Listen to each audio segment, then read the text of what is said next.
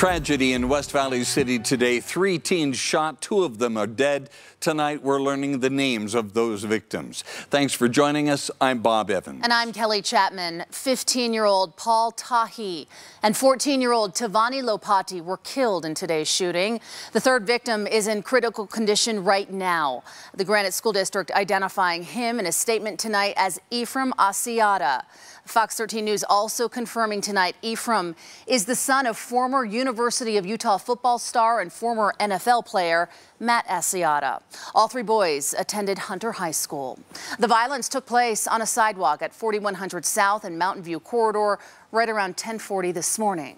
West Valley City police say a 14-year-old male believed to be the shooter has been booked into juvenile detention and the gun believed to have been used in the shooting has been recovered.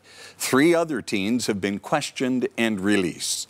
Fox 13 Spencer Joseph has been on scene all day. Spencer has talked to several family members and he's witnessed the emotion there tonight. Spencer. Yeah, certainly incredibly emotional out here. The families are just devastated. Both of these families very closely intertwined as well. A lot of them know each other very, very well. Now, if you were with us on live at 5:30, you saw right where I'm standing the police line lift, and all of those family members traveled a few hundred feet behind me to the spot where this happened. Now, we did follow them down there and spoke with many of them who say tonight was so important to say goodbye to their loved ones. This gathering, it really means a lot to me to show that our community could come together no matter what happens.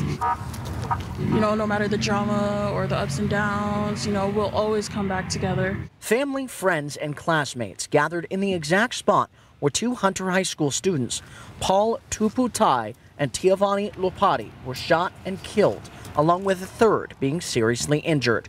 Throughout the day, countless people watched on at the crime scene tape, waiting for the moment where they could visit the spot where this happened and pay their respects. My brother was just, he was just a good kid, you know, he would do anything for his family. And I guess one of the best memories of him is whenever you needed him, he was always there. This is Seppi Lokotui.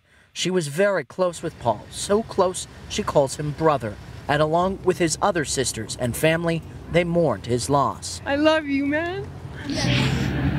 We love you, Paul. Tiavani and Paul were close, playing football together at Hunter High School, and family tells us they always watched out for each other and for others. My little brother would always tell me about T. Lopati, and I knew that whatever they needed or whatever whatever anybody else needed, they were always there, no matter what. It, it was crazy when I found out. I was in class, and you know I couldn't stop crying until the end of the day. Another family member told us he took inspiration often from the pair. Uh, I'm a, I remember all the words and everything that they did for me that kept me going, and it's gonna keep me going. And when asked his favorite memory, My favorite memory, honestly, everything. Um, he was there for me when I needed him. So as the scars run deep for this tight knit community, they say together they will continue to pull strength from each other. And for Paul's family, they had this message to their brother. I hope you come and visit me sometimes, or I hope to see you again. I love you so much. Love brother. Those flowers you just saw are part of a small memorial that's growing behind me a few hundred feet in the spot where this happened. Now, grief counselors have been made available to Hunter High School students as well as to the family through the police department. Of course, if we learn any new details as this is a developing story, we will share them with you. Live in West Valley City, Spencer Joseph, Fox 13 News, Utah.